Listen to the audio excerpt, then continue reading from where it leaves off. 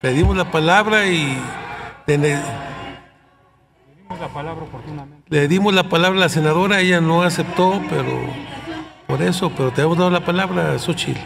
Adelante, Xochitl, senadora ver, Xochitl, adelante. el Parlamento sirve para hablar y para debatir. No le saquen al debate.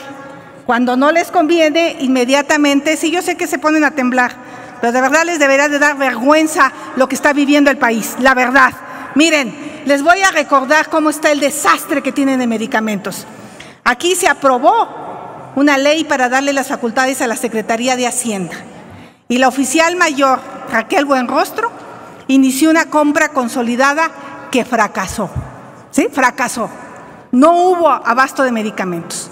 Después, en 2019, tomaron la decisión que la UNOPS sería la responsable de comprar los medicamentos. El propio Insabi dijo que la UNOPS había quedado mal. Y hoy cada dependencia está comprando medicamentos. El IMSS, el Seguro Social, el ISTE, y han tenido que comprar, y hay datos ya eh, que son públicos, hasta en un 20% más de su costo por la urgencia.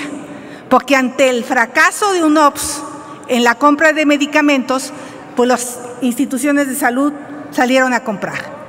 El PAN presentó una iniciativa para regresarle esta facultad a la Secretaría de Salud para la compra de medicamentos. Nos gustaría debatir estos temas, pero ustedes en comisión solo sacan temas inocuos como el tema del cigarro. Que el Senado sea libre de tabaco, pues ya está prohibido. Ya deberíamos de tener un Senado libre de tabaco. Pero hacen reformas inocuas porque no quieren debatir los temas de fondo. Y la realidad es que hay un problema en cancerología. Miren, senadora cancerología dejó Senadora. de recibir. ¿sí? Está pidiendo la palabra la senadora Margarita. No, este, yo estoy Si usted- hablando, una disculpa. Este, Adelante, bueno, el tema, el tema es, el tema del cáncer, les voy a explicar cómo está. Cancerología recibe 400 millones de pesos. Recibía 400 millones del Seguro Popular, que ya no recibe.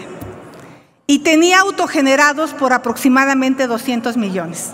Se dijo que no se podía cobrar y ya no tiene los autogenerados.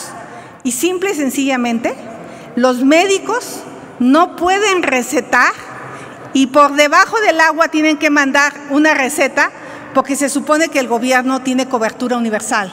Pero es absolutamente falso. Vayan a las puertas del hospital, no tiene mucho que buscar el senador que retó a la senadora que le dé el nombre, son miles, senador. Miles de personas que son rechazadas todos los días del Instituto Nacional de Cancerología porque no tienen capacidad de atención, porque no tienen los recursos suficientes, porque desapareció el fondo catastrófico. Entonces, en el Seguro Social hay una crisis, vayan a las farmacias del Seguro Social y les están dando de cuatro a seis semanas para entregarle los medicamentos. Y vayan a las comunidades marginadas que ni siquiera hay un paracetamol. Entonces, esta es una realidad. Si no la quieren ver, pues es porque están ciegos y no les conviene verla y es muy fácil subir a decir aquí que mentimos. Entonces, vamos entrándole a un tema tan importante, vendrá el secretario de Salud que nos dé cuentas, pero pregúntenle a sus bases allá en sus estados y les van a confirmar lo que les estoy diciendo. Muchas gracias.